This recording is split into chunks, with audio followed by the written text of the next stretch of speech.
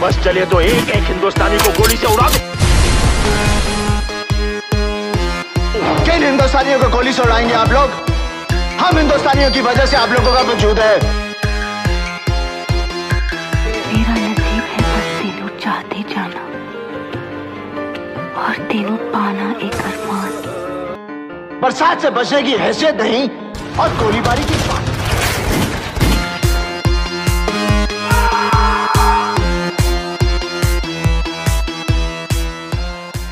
कैसे डायलॉग सुनने को मिलेंगे ऑडियंस को गदर टू में।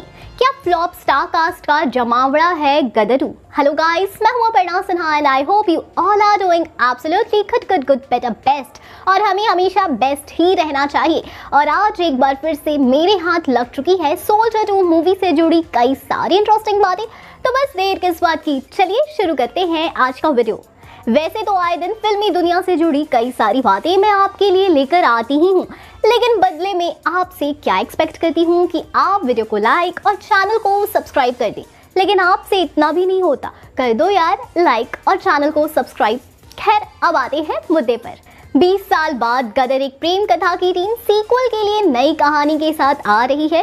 गदर एक पीरियड रोमांटिक एक्शन ड्रामा है, जिसे अनिल शर्मा ने बंटवारे और भारत पाकिस्तान की पेचीदगी को मसालेदार जायके से बनाया था।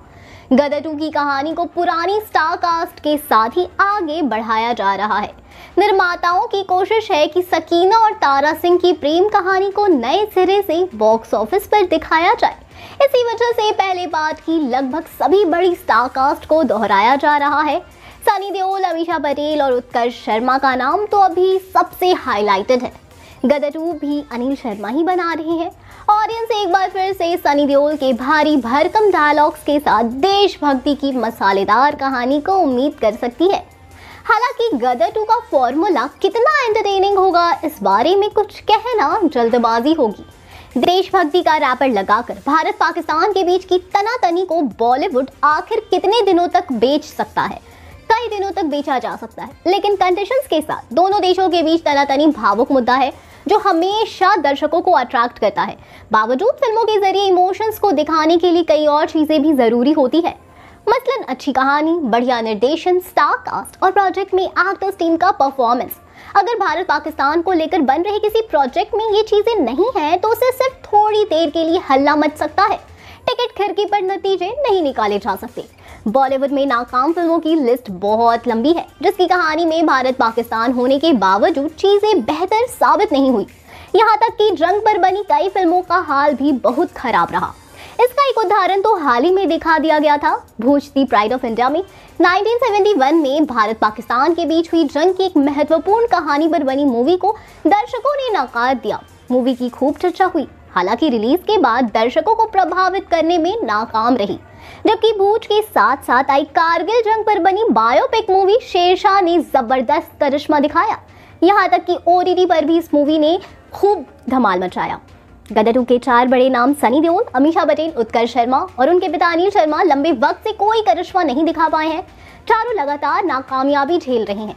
सुपर फ्लॉप कहे जा सकते हैं। कामयाबी तो दूर की बात है, लंबे समय से सनी देओल किसी ढंग की मूवी में भी नज़र नहीं आए हैं। वे ज़्यादातर होम प्रोडक्शन की फ़िल्मों में दिखे हैं, जिनका बॉक्स ऑफ़िस कमाई बहुत ही निराशाजनक रहा। चार साल पहले बतौर हीरो उत्कर्ष शर्मा ने जीनियस से डेब्यू किया, पर असर नहीं छोड़ पाए। जीनियस उनके पिता ने बनाई थी, इसके बाद उत्कर्ष शर्मा को दूसरी मूवी नहीं मिली।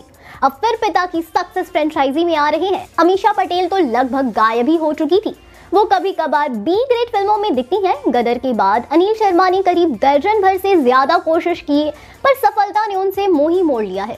फ़िलहाल तो गदर सुपर फ्लॉप सितारों का जमावरा ही नज़र आ रहा है। गदर के निर्माताओं को इसी वजह से ज़्यादा परेशानी होगी। और ये मूवी के लिए अच्छा संकेत नहीं है। अब देखते हैं आखिर क्या होता है। मूवी हिट होगी या फ्लॉप इसका अनुमान तो ट्रेलर देख के ही लगाया जा सकता है। लेकिन अभी उसमें भी काफ़ी वक्त है। सो so गाइज़ आपको अगर आज का इन्फॉर्मेशन यूजफुल लगा हो या किसी भी रीज़न से आपको आज का वीडियो पसंद आया हो तो वीडियो को लाइक और अगर आपने अब तक चैनल को सब्सक्राइब नहीं किया है तो वो भी कर देना। साथ ही साथ ये भी बताना कि आप नेक्स्ट वीडियो किस कल्ट क्लासिक मूवी पर देखना चाहते हो, तब तक के लिए bye bye take care and stay blessed